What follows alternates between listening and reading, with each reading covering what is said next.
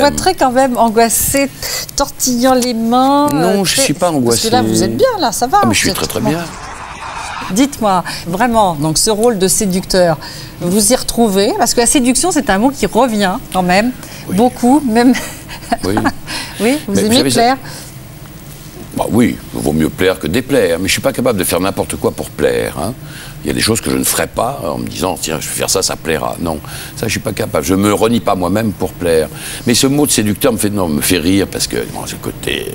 Alors ça commence à se calmer quand même parce que maintenant je, je rentre lentement dans un âge respectable.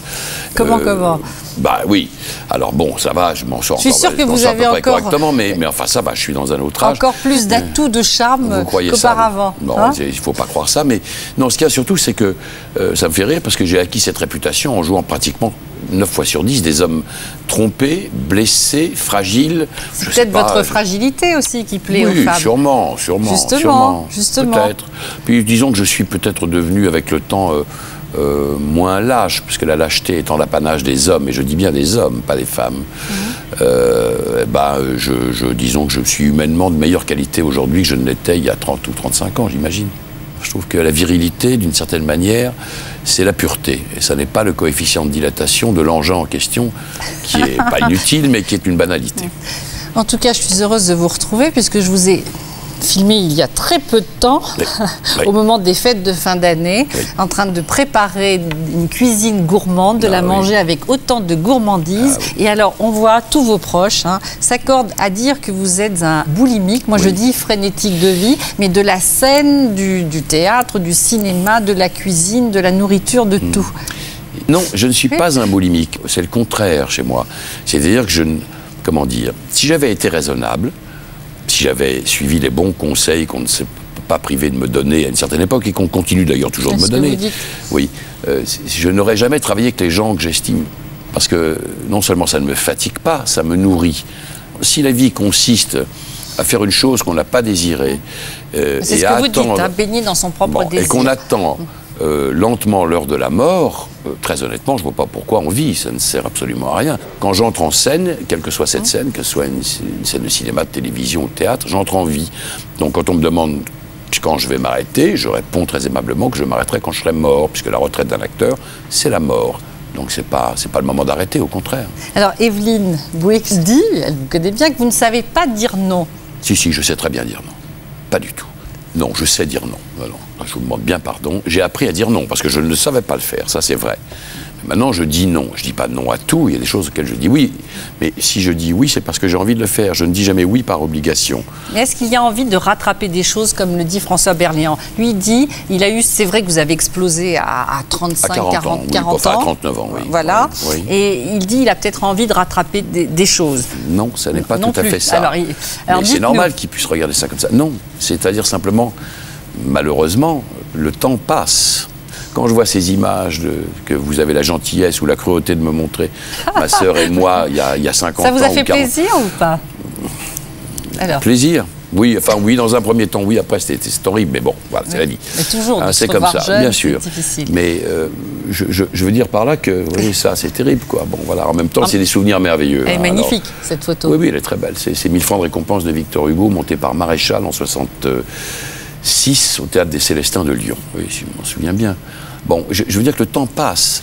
Alors, je n'ai rien à rattraper. J'ai simplement, sachant maintenant, voyant ce petit morceau de route traversant un champ plat, au- au bout duquel on ne voit rien, où je ne voyais même pas la ligne d'horizon il y a encore quelques années maintenant, au bout de ce chemin, je vois une tache. C'est un butoir.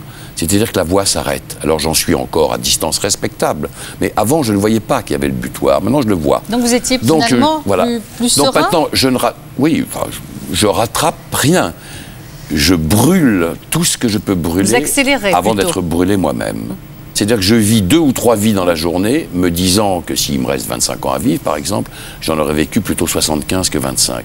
Mais je le fais tant que je suis là, je le fais pour ça, pas pour rattraper, pour me, pour me bourrer la gueule ou pour me, me, me filer une crise de foi de l'existence, me disant que, en tout cas, je n'aurais pas à regretter, j'aurais, j'aurais pris tout ce que je pouvais prendre. En fait, vous avez pris conscience de cet arrêt inéluctable. Oui. Et est-ce que ça vous renvoie à ce premier arrêt, puisque vous avez commencé, vous très jeune, très tôt, une carrière qui s'est arrêtée net D'ailleurs, à peu près en, mai 68, oui. au moment des événements de 68, oui, ça a dû normal. être une, oui, oui, normal, mais ça a été une cassure. ça, vous avez pris peur euh, c'est-à-dire que j'avais eu un rôle principal à la télévision, d'une émission qui se passait en direct à l'époque, qui s'appelait En votre âme et conscience. Tout à qui fait, les grands qui, procès, vous a, qui vous a lancé. Et qui, à l'époque, il y avait une seule chaîne, ou peut-être deux. Hum. Et là, on a... J'ai été propulsé du jour au lendemain. On a dit, ah, formidable, il y a, je sais pas, a 20 millions de gens qui ont vu ça. Donc le lendemain, j'étais une gloire nationale dans la rue, ce qui était étonnant pour un petit jeune homme comme moi. Et puis après est arrivé mai 68, et puis toute la France entière s'est arrêtée. Et puis et ça s'est arrêté pour tout le monde, et donc pour moi aussi, ce qui est tout à fait naturel. Mais après, plus personne de nouveau savait qui j'étais. Ils n'avaient pas eu le temps d'imprimer ça. Donc je suis reparti pratiquement à zéro. Alors je m'étais pas dit ça y est, je suis une, je suis une vedette maintenant tout est bien. Je m'étais dit ah ben, je vais enfin peut-être pouvoir commencer à approcher des choses, des gens. Et puis ça s'est arrêté et je me suis retrouvé en train de faire pratiquement de la figuration avec Christian Jacques qui m'avait vu là-dedans et qui m'avait dit écoutez j'ai un petit rôle, c'est pas beaucoup, vous êtes tellement bien, mais est-ce que vous voulez bien faire ça? Et j'ai évidemment accepté et ça m'a remis les idées en place. Je me suis dit bon ben voilà. Hein, il faut garder la tête froide, ça peut être comme ça ce métier-là. C'est déjà miraculeux que je puisse continuer de travailler. Bon, je faisais aussi le garçon de café dans, les, dans le café de mes beaux-parents, euh, les parents de Florence Giorgetti, qui est ma, première femme et la mère de mon fils. Et tout ça, ça m'a, ça m'a plombé, quoi. Mais j'ai eu la chance de vivre à cette époque-là dans une société où il y avait du travail. C'est vrai? Pas comme aujourd'hui. C'est vrai? Et je me suis dit, bon, ben voilà, c'est comme ça. Apprends, apprends à vivre avec ça et remonte lentement la pente, continue, continue. Bah, tu pensais que tu allais avoir des rôles comme ça, bah non, tu repars avec des trucs beaucoup plus petits qu'avant, ça fait rien. Si ça doit revenir, ça reviendra. C'est pour cela qu'à l'âge de 40 ans, lorsque vous avez connu une vraie, vraie notoriété, vous n'avez pas arrêté de travailler, peur de l'arrêt, besoin de vous rassurer. Voilà, ça y était, il fallait continuer, là, il fallait vous tenir le fil. Oui, et puis, oui, sans doute, mais s'il y avait quelque chose à rattraper, comme dit mon, ah, pote ah, Berléand, et là-dessus il n'a pas tort, c'est à cet âge-là que je l'ai fait. Ah. C'est à 40, quand la notoriété effectivement populaire, la reconnaissance populaire est arrivée. Je me suis jeté, je me suis bourré la gueule avec le cinéma, avec tout ça. Et j'ai pas forcément fait les bons choix. Mais après tout, euh, ils ne sont pas si mauvais. Voilà, cette, cette photo, vous avez quel âge, Pierre? J'ai 16 ans. À 16 ans Oui, j'ai 16 ans, 17 que vous étiez un peu plus âgé. Non, 17, je pense peut-être, oui. C'est mes premières, c'était les premières photos d'acteur. J'ai une tronche pas possible. Et je m'aime pas. Je m'aime toujours pas d'ailleurs. Là, alors franchement, quand je vois ça, je comprends pourquoi je m'aimais pas. Vous ne vous aimez pas? Ah non, pas du tout. physiquement, jamais. non, jamais, moins que jamais maintenant. Mais enfin, Comment ça? euh, même je me préfère plutôt la tronche que j'ai maintenant que celle-là. mais euh, non, non, mais j'aime pas, j'aime pas. Je déteste. J'ai un visage, un visage flasque et tout comme ça. Non, mais enfin, peu importe, ça n'a aucune importance. Ça, c'est très difficile de se regarder. Est-ce que vous êtes quand même habitué? Vous avez non. À moi? Oui. Ah non, pas du jamais. Ah, mais pas du tout. Mais moins que jamais aujourd'hui. Mais ça, il faut surtout pas prendre ça pour de la coquetterie. Non, mais Moi, je... Je, le dis, je, enfin, je le dis, je le dis, mais il y a des tas de films que je ne vois pas, par exemple, dans lesquels je tourne. Et pourquoi? Parce que je supporte pas. Je supporte pas. Moi, je me supporte pas moi. J'adore voir les autres. Hein, J'ai aucun problème avec ça. Moi, c'est un cauchemar je, souffre mille morts. C'est-à-dire, vous auriez C'est-à-dire, je ne voudrais pas avoir cette tête-là. Je pense que j'ai fait un régime et que les angles sont beaux, ils sont tartes. Euh, je trouve, je j'aime pas ma voix, j'aime pas comme je joue, parce que jamais je ne vois ce que j'ai cru que j'allais avoir fait. Jamais. Et vous aviez un modèle? Physique Oui, comme physique Ah, mais j'aurais voulu être Alain Delon, c'est de notoriété publique, ça. J'aurais adoré. C'est sérieux? On peut tout dire d'Alain Delon, sauf qu'il n'est pas beau. Et moi, j'ai eu la chance, un jour, au petit matin, il me dit Mais je vous raccompagne. Donc on est parti, il faisait très beau, il y avait une espèce de petite brise comme ça, et on est partis tous les deux. Et du coin de l'œil, je le regardais m'accompagnant. Il est plus grand que moi, beaucoup plus fin. Le vent soufflait comme toujours pour lui dans le bon sens, c'est-à-dire que ses cheveux étaient merveilleusement. Et je le regardais à la dérobée et je le regardais traverser l'espace comme un ange. Et je me disais, mais c'est normal que ce type ait eu la carrière qu'il a eue. C'est normal, c'est absolument normal. Mais Simplement, voilà. Moi, si vous me demandez à qui j'aurais voulu, euh, je voulais ressembler à Alain Delon. Point. Ah, bah, ça. Et vous voyez, aucune chance de ressembler à Alain Delon ah, quand on a cette combine-là à 7 mois ou à 9. Je ne sais plus très bien. Oh, mais vous êtes très mignon. arrêtez, arrêtez. Je suis une grosse boulette. arrêtez, Pierre. c'est drôle. Ma mère me montrait ça quand elle était vivante, triomphalement. Elle me disait Mais regarde comme tu es beau, mon chéri. Je disais Mais c'est horrible, maman, fout cette photo en l'air. Donc, besoin de vous rassurer alors? Besoin qu'on me rassure. Qu'on vous rassure en permanence sur vous-même. Oui, je- euh, je- ce serait malhonnête de dire euh, que c'est pas sur moi-même et de dire non, je me suis rassuré. C'est pas vrai, non, non. Je suis toujours, je crois, aussi peu sûr de moi, au fond. Et je le vois bien, Voilà, donc je n'ai Voilà, pas de mais je vous problème. vois très quand même angoissé, tortillant les mains. Non, euh, je très- suis pas angoissé. Parce que là, vous êtes bien, là, ça va. Ah, mais je suis êtes- très très bien. Vous êtes Mais si vous voulez, c'est normal. C'est- parce qu'on remue des tas de choses. Oui, on parle de tout ça, donc forcément, ça va taper des choses chez moi qui sont encore très bouleversantes, et peut-être plutôt plus bouleversantes aujourd'hui qu'elles ne l'étaient il y a 20, 30 ou 40 ans, puisque le terme lentement approche. Il y a quelque chose là-dedans qui me déchire. hein. Donc je ne peux pas faire autrement que, que d'être déchiré par moments, par bribes, par petites pincettes comme ça. Donc ça, ça me bouleverse, parce que c'est ma mère, mais c'est autre chose. Justement, votre mère, Mais c'est la femme de ma vie, évidemment.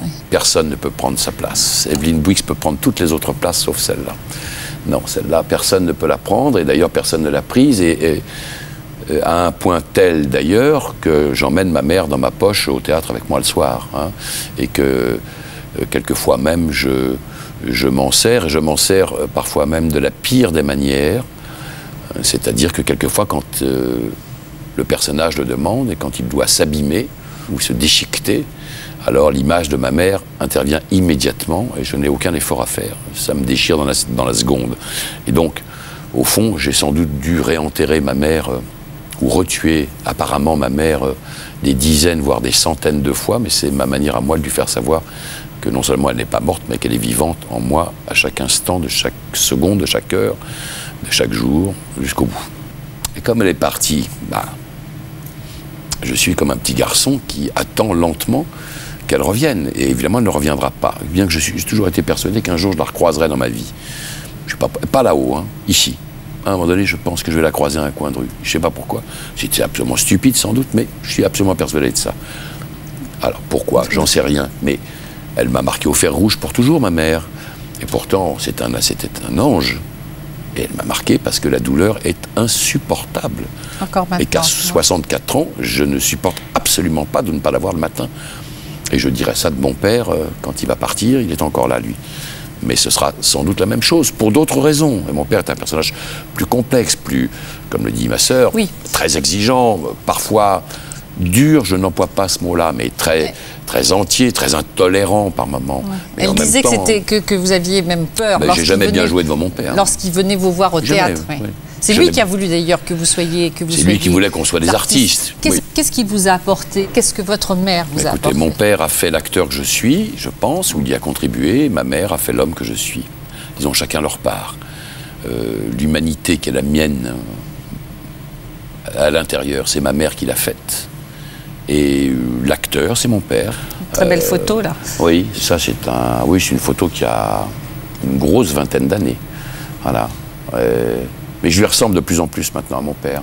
Je lui ressemblais pas encore trop là à cette époque-là, mais maintenant, maintenant je lui ressemble. Et vous avez eu du mal, j'imagine, à quitter le, le domicile familial, bien sûr, avec un attachement Je l'ai pareil quitté à votre. très tard, Oui, oui. contrairement à beaucoup de mes camarades. dans Tanguy les- avant l'heure, Oui, oui. oui, parce que les gens me disent, mais quoi, que pourquoi voulez-vous que j'aille ailleurs? C'est merveilleux chez moi. je- je- mais le- la maison est une, une maison ouverte sur tout et sur tout le monde.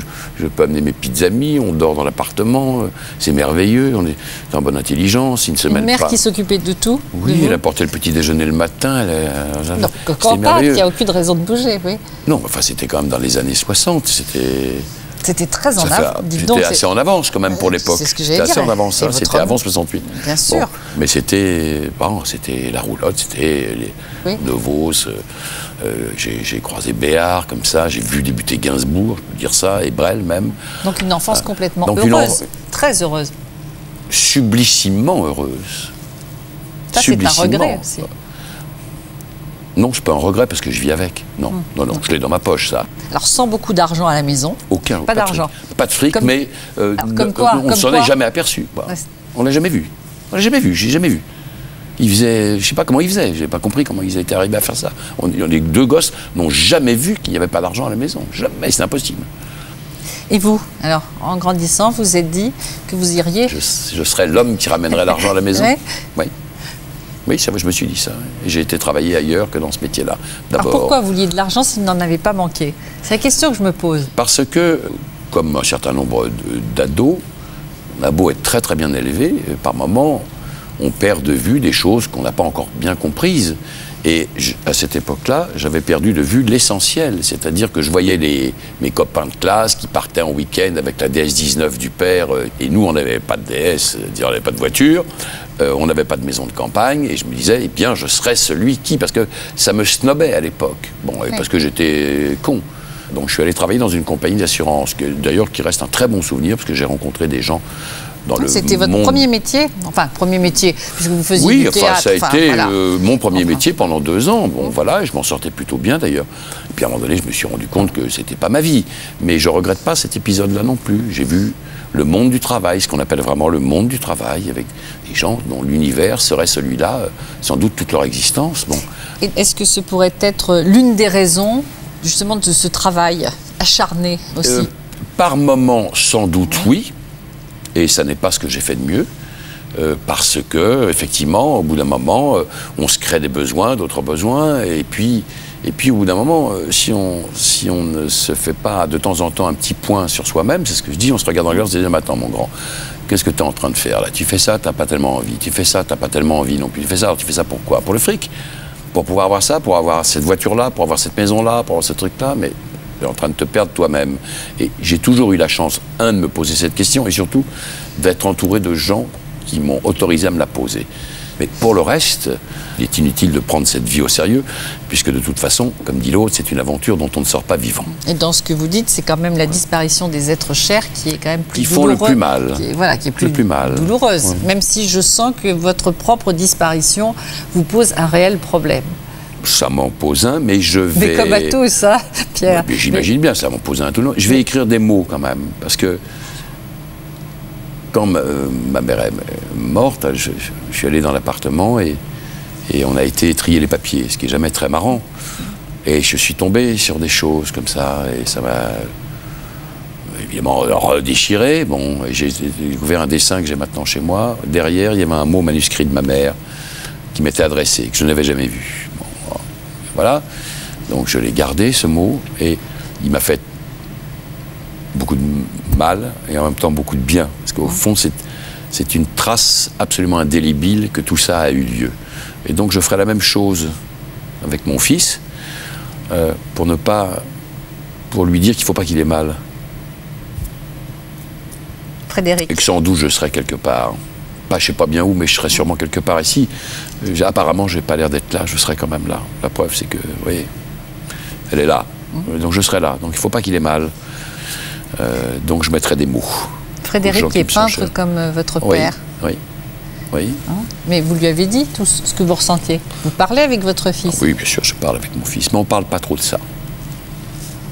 On ne parle pas trop de ça. Quel genre de père, justement, vous avez été avec lui? Bien, je suis un tueur. Je suis un tueur. Je suis un tueur. Ça veut dire quoi? Ça veut dire que je ne me suis pas occupé de lui, sa mère non plus d'ailleurs, comme sans doute il aurait fallu s'en occuper à un âge où l'enfant le demande, parce qu'on était en train de se fabriquer nous-mêmes comme acteurs, Florent Giorgetti et moi, et c'était normal. Donc il a été beaucoup pris en charge par les grands-parents, comme souvent dans ces cas-là. Et euh, cet enfant, que je chéris et que j'adore, il a appris à se faire une carapace pour ne pas souffrir quand il était en demande. Donc maintenant, alors c'est un enfant très formidable, il est flamboyant, il a beaucoup de talent, il est, on s'aime. Mais c'est moi qui ai fabriqué ça, je n'avais qu'à pas le faire. Donc il a fabriqué quelque chose pour se défendre, il a eu, sans doute il a eu raison. Donc d'une certaine manière, j'ai été un tueur. Est-ce que c'est vrai qu'à la remise des Césars, euh, il n'a pas voulu venir? Non. Lorsque vous, on, vous a remis Non, il a regardé. Non, mais il, ça, euh, ça le, euh, il est Frédéric Arditi. Alors, il est mon fils, mais euh, il n'est pas le fils de Pierre Arditi. Il est le fils de Pierre Arditi, Pierre Arditi, mais il n'est pas le fils de Pierre Arditi. Ça, le comédien. ça l'emmerde. Oui, il n'a pas envie, je comprends très bien. Quand je vous dis que je suis un tueur, je sais pourquoi. C'est que, que d'une certaine manière, il doit aussi lutter contre moi. C'est tout à fait naturel. Pourquoi vous êtes devenu comédien, vous? Acteur oh, mais Je suis devenu comédien d'abord pour ce que raconte Jouvet, d'abord pour qu'on me regarde. Pour qu'on me regarde, on dit Ah, c'est qui lui? Ah, bien, il, voilà, pour ça, évidemment. Donc, Comme toujours, bah, bien narcissisme d'abord. Mais bien sûr. Et aujourd'hui, alors quand vous jouez En dehors du narcissisme. Et quand je joue, je, je- je vis, quoi. Voilà, c'est ce que je, ce que je m'étais promis à 17 ans euh, a lieu. Et, et, et je- c'est exactement ça, j'ai l'impression que je vole, quoi. Je, je prends le monde dans ma main, je le serre, et il, vient vers moi parce qu'il a chaud là dans mes bras. C'est-à-dire c'est- a une impression d'infini, d'absolu, et c'est un pays où la mort n'existe pas. Ça n'existe pas. Puisque quand ça s'arrête, ça recommencera demain. Pierre, avec tout ce que vous avez dit, alors vous avez mis la. C'est trop, je, non, le non, comprends, je le comprends bien. non. Mais vous avez mis quand même la barre assez haute pour la compagne euh, qui est à vos côtés. Oui, Bon, mais Actuellement, Evelyne Boix, depuis d'ailleurs, euh, combien Plus de 20, ans 23. Dans ce métier, c'est Euh, pas on- mal. hein Honnêtement, je pense que de notre génération, Deux comédiens deux ensemble, acteurs, on est, on est les records de man du genre, oui. Oui, parce que comme visiblement, c'est pas prêt de s'arrêter. euh, mais je, je- je mets la barre très haut, mais elle m'a beaucoup aidé à mettre cette barre là où elle est. Je dis qu'elle peut, elle pourra jamais prendre la place de ma mère, et je ne la lui demande pas d'ailleurs, parce que c'est pas une place qui est à prendre. Mais je ne sais plus qui disait, oui, c'est Bernard. Elle est- Bernard Murat disait que elle est tout. à tour à Elle tour. remplit tout. Oui, oui. C'est ma femme, oui. c'est ma maîtresse, c'est ma meilleure amie, c'est mon meilleur compagnon de jeu, euh, c'est mon enfant. euh, ça n'est pas ma mère. Ouais, c'est- déjà beaucoup de faire tout ça pour moi. Et j'espère que je peux être. euh, Dans l'autre sens aussi, ça Je fonctionne. l'espère, oui, oui, je crois. Votre sœur Catherine Arditi disait que votre botte secrète par rapport à votre longévité de couple, c'était continue de se séduire. oui, c'était Oui. cette séduction permanente de l'un vis-à-vis Oui, de l'autre. pas seulement, mais c'est très important. Moi, les jours où je sors de chez moi où je ne lui plais pas, ça va pas. Mais vous le savez Ah, mais elle me le dit. Si je ne lui plais pas d'abord à elle, je- ça ne va pas dans ma vie. Ça ne va pas. Mais ça n'est pas la seule chose, la séduction. C'est que je pense que nous n'avons pas fini de, de nous parler. Voilà. On a des choses à se dire, surtout. Et à faire, surtout, ensemble. D'ailleurs, Enfin, pendant un aussi. temps, vous ne viviez même Voilà. pas vraiment Mais on a mis un temps fou à oui. vivre ensemble. C'est ça. Oui, oui, oui, un temps fou. Mais maintenant, on vit ensemble, mais euh, avec un appartement suffisamment grand pour que chacun ait son territoire. Et avec un territoire commun. Et on s'invite dans nos territoires. Quand je vais chez elle, je frappe. Et quand elle vient chez moi, elle frappe. Et c'est normal. Voilà. Et puis il y a des territoires où on ne frappe pas parce qu'on est dans le salon ou ailleurs, truc comme Bien ça. sûr, et c'est très bien. On a parlé beaucoup de choses. On n'a pas parlé de votre engagement. C'est un véritable engagement, non? Oui, À gauche. Finalement. Je suis un enfant de gauche. Ouais. Il n'y a rien à faire et je ne serai jamais à autre chose qu'un enfant de gauche. Je me méfie maintenant profondément de ne pas donner de leçons de morale aux autres. Parce que ça, c'est terrible. Et en particulier quand on est un homme public et un artiste. Mais ça n'est pas parce que je suis un acteur je- que- qu'on a à m'interdire d'être un citoyen. Bon, alors je vois bien, on sauve les banques, je comprends quand on sauve les banques, on sauve tout le système, donc on- nous nous sauvons nous-mêmes, sans doute, je veux bien admettre le raisonnement, mais on ne peut pas ne rien faire pour des gens qui, à un moment donné, crèvent la dalle, ne gagnent plus d'argent, même quand ils travaillent, et qui dorment dans leur bagnole. C'est pas acceptable, ça. On est dans le cinquième pays le plus riche du monde, on peut pas, c'est pas acceptable. Alors, une fois qu'on a dit ça, on n'a rien dit. hein. C'est de, la mouche, je m'énerve, ça, je vois bien je me réénerve. Bon, mais si la gauche dit, et elle a raison, je le crois, de penser que l'homme est au centre de ses préoccupations, eh bien alors qu'elle s'en préoccupe. l'issue. Mais je ne suis pas même- membre du Parti Oui, Socialiste. Non, moi. mais vous êtes quand même homme de gauche. On a inauguré un quai François Mitterrand il y a quelques années, Ouais. et on m'a demandé de venir lire un texte de lui d'ailleurs. J'y suis allé. Et Je suis passé comme ça, il y avait beaucoup de journalistes qui me disaient Mais euh, pourquoi, euh, pourquoi vous êtes venu ou pourquoi vous venez? Et j'ai simplement répondu Pour ne pas être infidèle. Voilà. Quel est votre principal regret, Pierre? Est-ce que vous êtes un homme de regret, Non, d'ailleurs je n'ai pas de regret. Alors, vous avez dit toujours avec cette hantise de la disparition, j'aimerais partir en arrière et recommencer plus lentement. J'ai dit ça. Oui, vous avez dit ça. Non, j'ai tort. Non, j'ai pas envie. Mais en même temps, non, j'ai pas envie de. euh, Je voudrais pas recommencer ça. Non, non, non, non. Tout ça, c'est un, un parcours. C'est comme une scène qui a été tournée. Ce morceau de vie, là, il fait partie de moi. euh, Les 64 premières années de ma vie, elles sont là. Voilà, maintenant, j'ai j'ai autre chose à vivre. Non, non, j'ai pas du tout envie de recommencer. Donc vous êtes plus sage qu'il y a deux ans, finalement. Vous étiez plus inquiet. Je suis toujours un- inquiet. Oui. Mais, mais j'ai trouvé une autre manière de me bourrer la gueule. Voilà, au fond. non, oui, je suis pas tellement sage. J'ai trouvé une très bonne manière de me bourrer la gueule.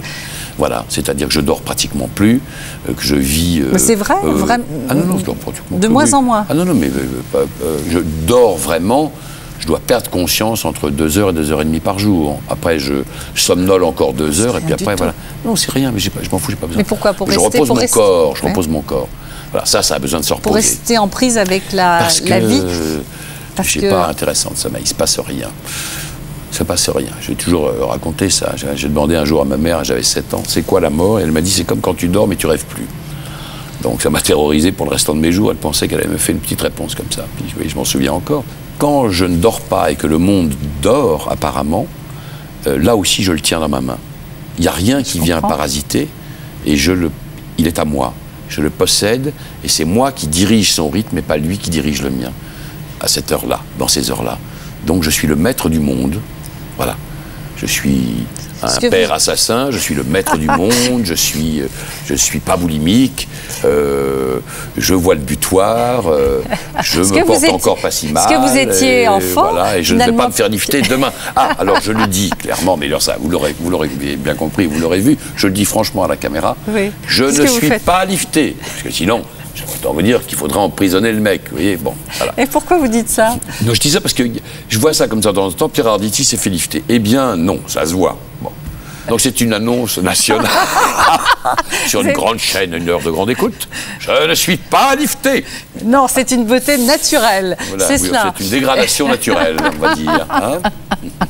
Et, et- et donc, je, je vous disais, Pierre, en fait, au centre du monde, exactement comme lorsque vous étiez enfant, bébé, Oui. Avec Voilà. le sentiment que le monde vous appartenait. Ah, mais il m'appartenait, car j'étais le, le maître de ma mère. D'ailleurs, j'étais, j'étais son roi, hein. je pouvais faire absolument ce que je voulais, ce qui était d'ailleurs pas très bien, franchement. Mais bon, voilà, je me suis très très bien arrangé avec cette histoire-là. Finalement. Oui, finalement. Voilà. C'est peut-être le seul avantage de, de l'âge qui avance, c'est que si on n'a pas été trop bête hein, et pas trop tourné sur soi, alors c'est absolument délicieux d'avoir toutes les générations autour, euh, que ce soit des amis, de la famille, des trucs comme ça, qu'on peut réunir ça en se disant, bah voilà, on est ensemble et c'est un moment, on traverse euh, cette géographie momentanée, là, ça c'est absolument délicieux. Et pour la au moins troisième fois, vous avez refait ce geste, qui sera, qui sera votre geste finalement, Bah, hein, ce si geste vous dites, maternel, vous voyez, bah, qui, voilà. qui est à. Eh bien, c'est vous qui, vous l'aurez, euh, c'est vous qui l'aurez provoqué, Pour ne rien manquer sur ma chaîne Ina Mireille Dumas, abonnez-vous et activez la cloche.